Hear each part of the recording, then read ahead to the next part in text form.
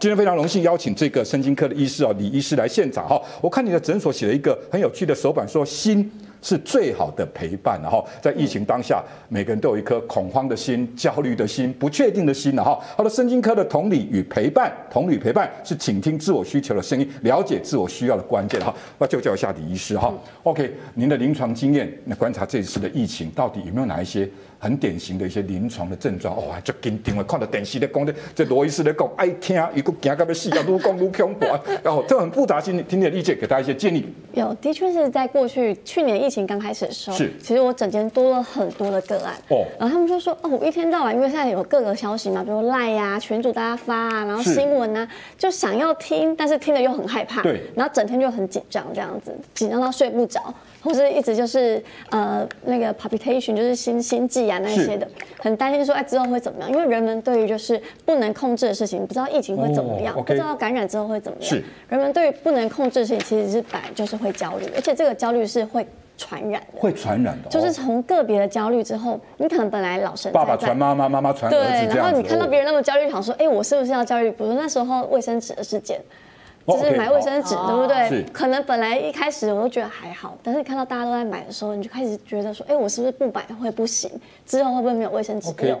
所以这种东西焦虑是会从个别的焦虑传染到集体的焦虑的。对，那其实这个在过去一年来，其实我们身心科的一个呃来诊量，其实也的确上升到。对，那我们现在面对的是一个集体的灾难嘛，就是说呃一个我们现在大家共同去面对边做边学的一个状况。是，我们要特别小心的，就是之后会不会有可能像一个灾难过后一个创伤后症候群，或者是药瘾酒瘾的增加的部分。这个是我们药瘾、酒瘾的增加。对，因为其实，在过去九二一地震那个时候，嗯，其实很多人在过后出现了一些创伤后症候群，所以这个是我们要及早去介入处理，避免这个情况发生。嗯对，所以我鼓就呼吁说，像是一些民间团体啊，或是企业，可能要随时去注意自己员工的心情的状态，嗯，因为他们在呈现一个很紧张、焦虑的情形。有些东西是当下不会发烧，而是在过了几个月之后，哦，尤其是在疫情，我们现在就是打延长战的时候，是。可能会慢慢慢慢的心理的议题要被浮现出来，这样子。那你有没有给大家一些建议呢？怎么面对这种有形无形的这种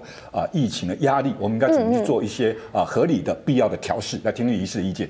就是其实因为现在资讯量很。多，那我觉得说固定的时间去接收一些资讯，就是说你可能不要一整天就只看赖说，哎，有什么新的消息啊出来，其实这个会自己会很紧张。是，对，所以我们呼吁说，大家每天你就一个固定时段，把今天的消息收集完，这样子去做准备。另外就是说，呃，如果说像是家里面有有人隔离啊，或是呃有些呃，比如家人在国外的啊，很担心他的状况，其实你可以每天用一些社交媒体或者是视讯的方式去关心。哦，对，其实有面对面就是。有讲到看到影像讲到话，这个会让我们比较安心。是是。对，因为其实这个时候大家一起努力，然后社交的一个状况是非常重要的。但我们是有保持距离的社交，所以我们可以用一些影像的部分来让我们就是安心一下。是，于是我们知道这场啊防疫的大作战哦，真全民大动员。那我知道有一群人是辛苦中的辛苦，就是跟你们一样，同样医学背景、医护背景，包括药师等等。我们之前访问过这个药师联合会的理事长哦，他说你唔知哦，我内马西，他说。光包那些东西处理的，他说工作量真的突然增加好几，他说突然的，他说我们担下来，但是呢，真的是完全体力上面的透支，家庭怎么兼顾？那女生的药师要怎么带小孩？他说我们都一步一步在没有经验、没有制度规划之下，我们靠我们的意志力去克服。然后我听到李医师，呃，面临这么庞大压力的哦，这些呃医疗体系的工作人员。你有没有观察到他们可能有哪些需要我们特别去理解、包容、关心的？甚至呃，有哪些地方应该大家给他们一些鼓励跟支持？听你的意见。是，其实，在过去就是人们有些，比如说被隔离啊，突然被隔离的一些医护人员，他们其实会面临的一些状况，像比如说失落。他可能会觉得说，哎，社会上看他们的角度眼光，哦，哦，对他们可能会觉得自己有可能就觉得被有点被歧视，或者被特别的标列出来的状况。疫情刚开始，还有那个社区大楼楼下小儿科被人家说，拎那脏手不要怎么，哎呦，那个实在是，对，你骂人家脏手，不 就这个脏手保护你那，你你你的生命财产安全吗？这个这实在是有点过分，不好意思打断你。对，这个我觉得我们要特别小心，因为有一个社会学家高夫曼他就有说，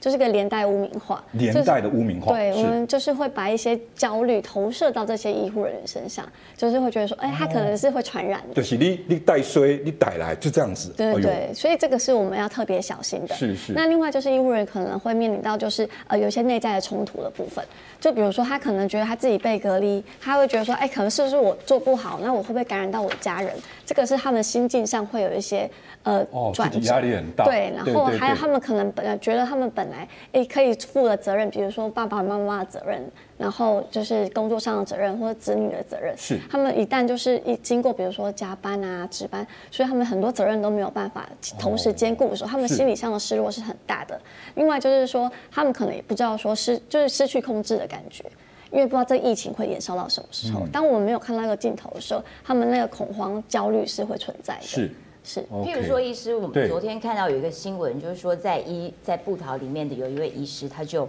爆哭，因为。他说：“我坚持到现在，可是我不知道我还要坚持多久，就是看不到那个镜头。嗯，那所以